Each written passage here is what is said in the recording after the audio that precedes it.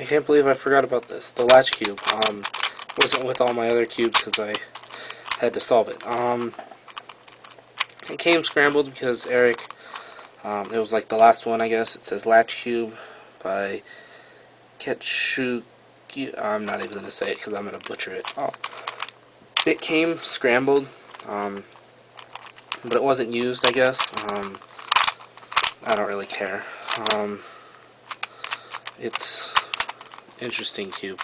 Um, so I took it, a, I solved everything, but I couldn't get the last pair for F2LN.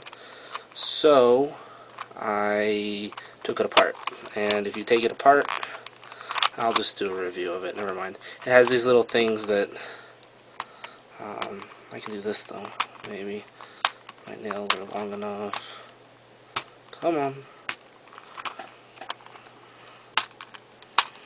Oh, come on.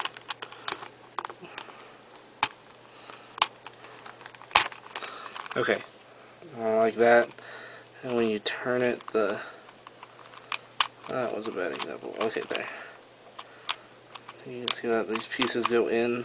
Um, so yeah, I had to just take it apart and reassemble it. Um, not a big deal. Um, it's pretty cool. Only turns the direction that the arrows go.